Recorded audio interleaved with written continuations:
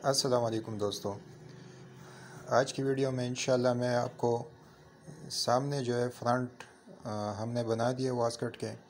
तो इंशाल्लाह आज की वीडियो में इनको बैग के साथ किस तरह अटैच करना है, आज की वीडियो में आपको बताऊँगा। तो ये देखें, हमने सामने जो है दोनों बना दिए फ्रंट।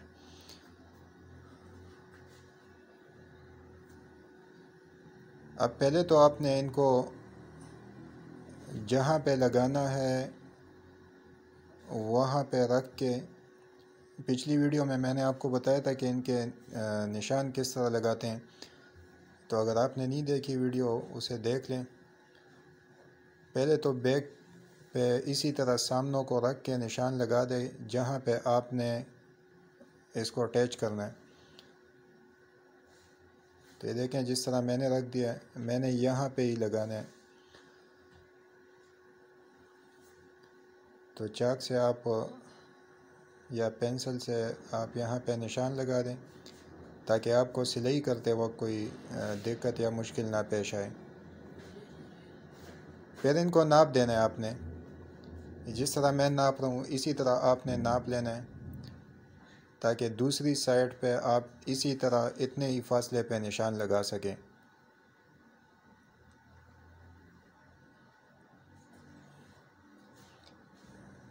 इस साइड पे भी आप जो सामने इस साइड पे लगेगा वो रख दें।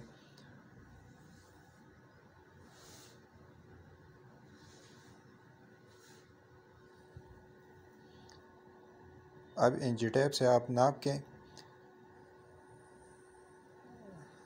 वहीं पे निशान लगाए जहाँ पे निशान आता है। ये देखें,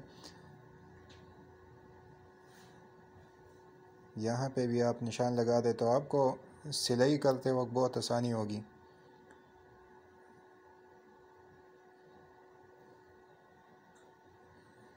जैसे जैसे मैं कर रहा हूँ, इसी तरह आप करते जाएँ।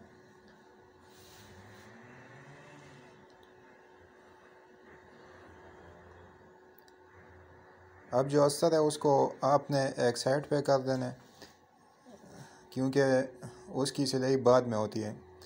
अभी सिर्फ़ जो बैग है, यानी कपड़ा है उसके साथ आपने सामने को लगाना है वास्कट के सामने को। ये देखिए, मैंने बैग को सीधी साइड पे रखा है और ये जो फ्रंट है, इसको मैं उल्टा रख रहा हूँ।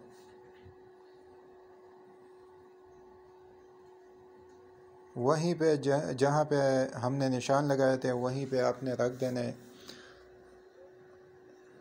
अब आपको बिल्कुल आसानी होगी इसमें।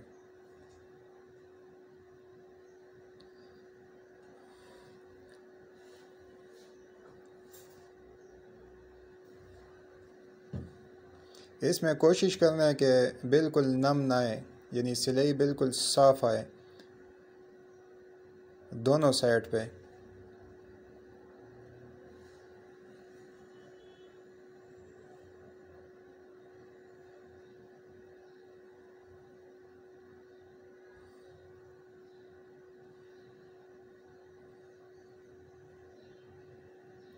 यहाँ पे कंधे को भी आप बैग के साथ अटैच कर दें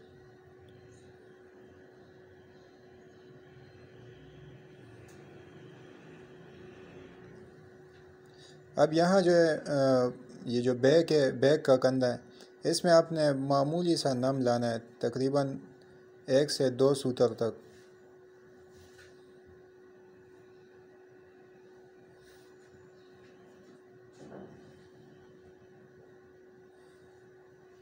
अब दूसरा जो फ्रंट है, उसको लेके आप इस यहाँ पे रख दें। यहाँ पहले कंधे की सिलाई होगी फिर साइड की सिलाई होगी।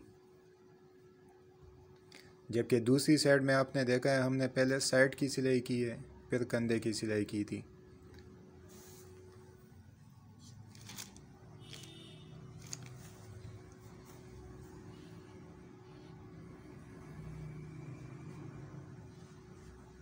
अब साइड को आप अटैच कर दें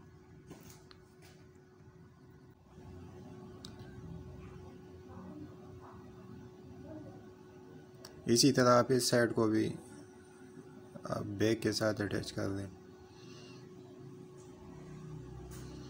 अब ये देखिए, जो निशान हमने लगाए थे, उससे हमें बहुत आसानी हो गई है।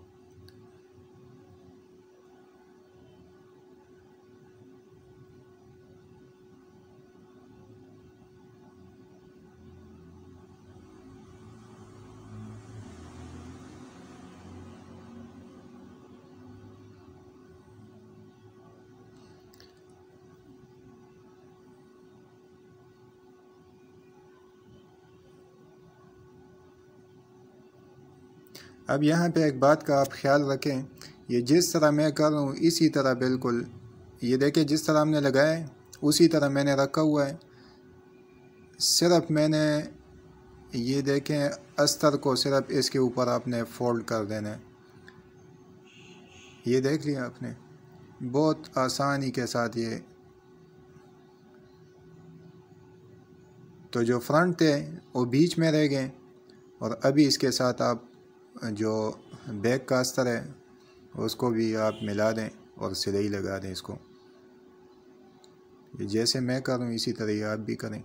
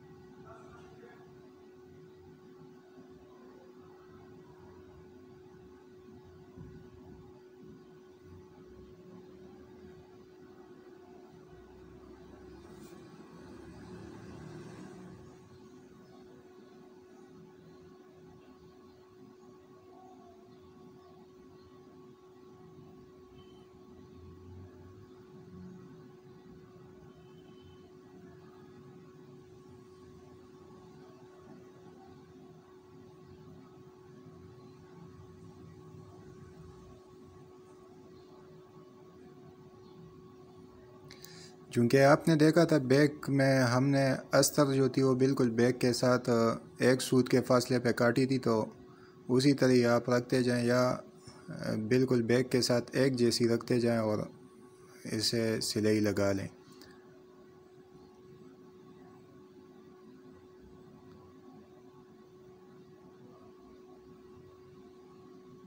यहाँ पे ये गोलाई जो आपने दी है, इस पे भी अगर आप सही सिलाई नहीं ला सकते हैं, अभी नए तो आप निशान लगा लिया करें अपने लिए।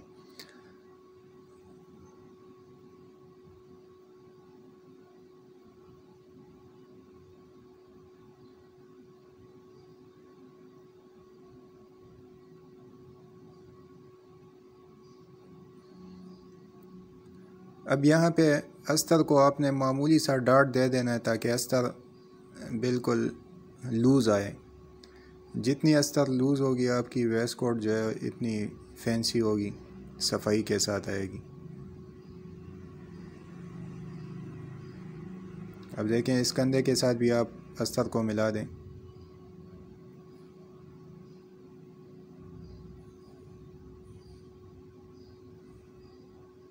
यहाँ पे भी आप एक मामूली सा डार्ट दे दें।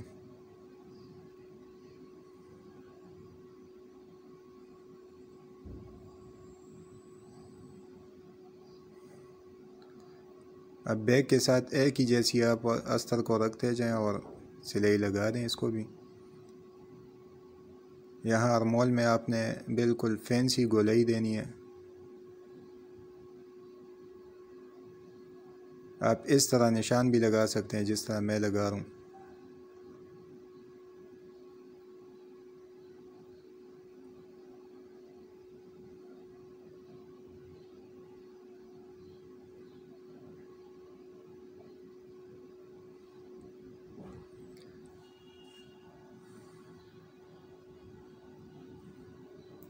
आप चाहे शलवार कमीज़ बना रहे हो या वो वेस्ट कोट या कोट तो आपने एक बात ध्यान में रखनी है। जो जगह मुश्किल हो, जहाँ पे सफ़ाई लाना थोड़ा मुश्किल हो तो वहाँ पे आप बिल्कुल आराम से काम किया करें। बाकी जितनी जगह जो आसान हो, वहाँ पे आप स्पीड लगा लिया करें। तो इससे आपका काम बहुत अच्छा आएगा।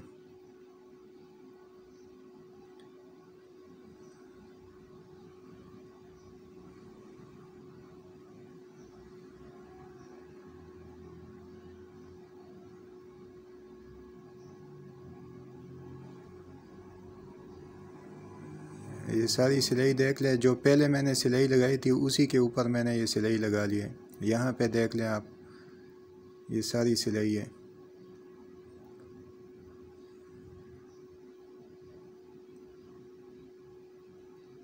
अब इसके बाद मैं इंशाल्लाह आपको बताऊँगा कि वास्कट को आप निकालना किस तरह क्योंकि सारी वास्कट बंद होगी है।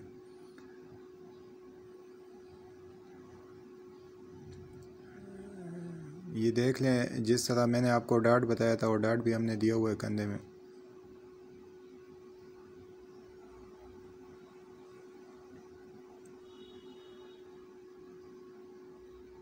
अब जितना ये मार्जिन फालतू है, यहाँ पे तो हमने सिलाई लगाई है।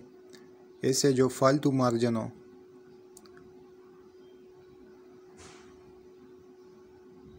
ये आप काट दे जितना फालतू कपड़ा है।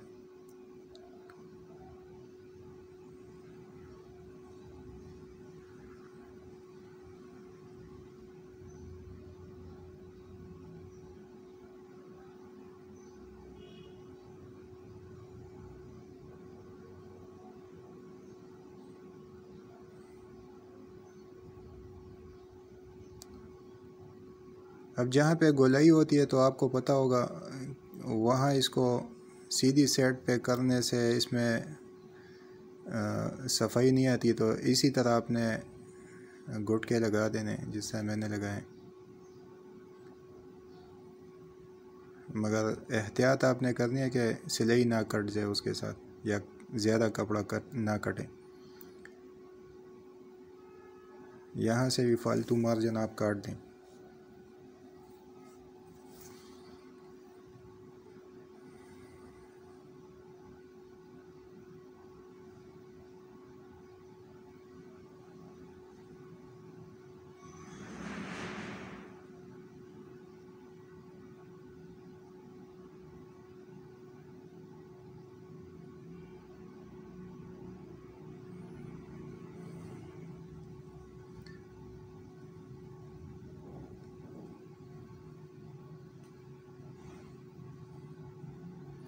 अब इसको हमने सीधी सेट पे पलटाना है।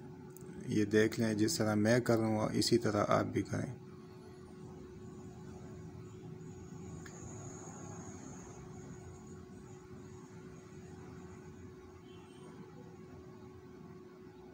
पहले आप एक सामने को ले लें, एक फ्रंट को। यानी फ्रंट का जो एक हिस्सा है, एक साइड है, उसको आप ले लें। अब दूसरी साइड को आप ले लें।